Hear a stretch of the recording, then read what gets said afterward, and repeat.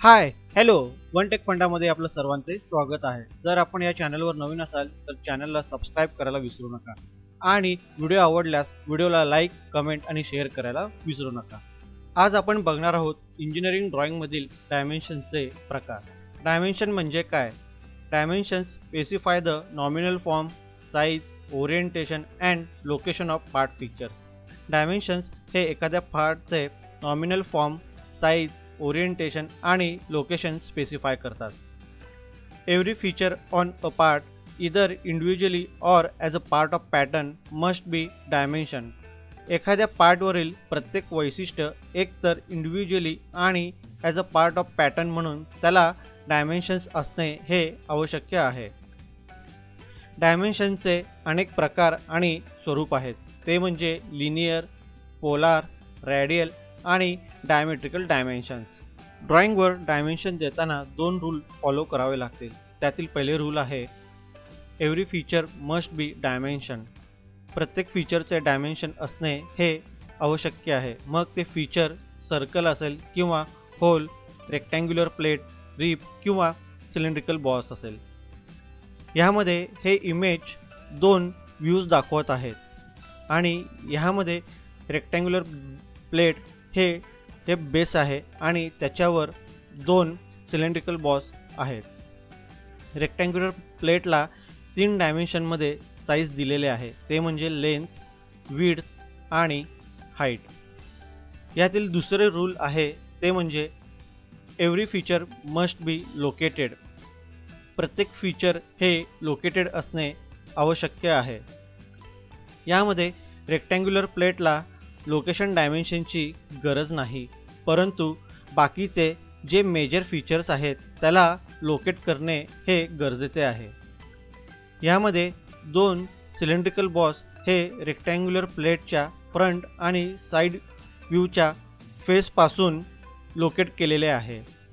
आणि यातील जे आठ होल्स आहेत हे एका होलच्या सेंटर ॲक्सिसपासून लोकेट केलेले आहे. जर आपण प्रत्येक फीचर्सला प्रॉपर लोकेट केले नाही तर ते मॅन्युफॅक्चरिंगला अवघड जाईल. आणि प्रत्येक फीचर्सला लोकेट के कसे केले जाते हे आपण इथं ॲनिमेटेड व्ह्यूमध्ये बघूया. जर आपण फीचर्स प्रॉपरली लोकेट केले नाही तर ते आपले पोझिशन सोडेल. तर प्रत्येक फीचर्सला प्रॉपर लोकेट करण्यासाठी त्याला प्रॉपर डायमेन्शनिंग देणे गरजेचे आहे.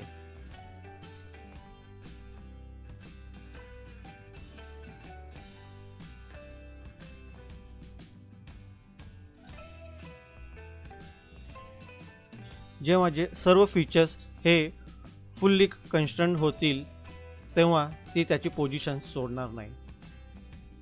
दोन्ही रूल फॉलो केल्यानंतर आपले ड्रॉइंग हे असे दिसेल.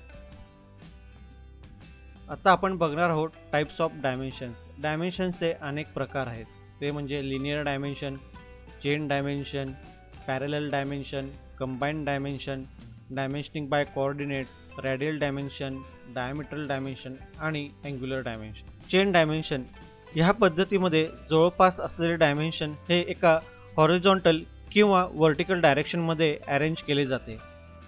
हे डायमेन्शन जेव्हा प्रत्येक चेन डायमेन्शनवरील टॉलरन्स हे पार्टच्या फंक्शनल रिक्वायरमेंटवर परिणाम करणार नाही तेथे हे चेन डायमेन्शन वापरले जाते.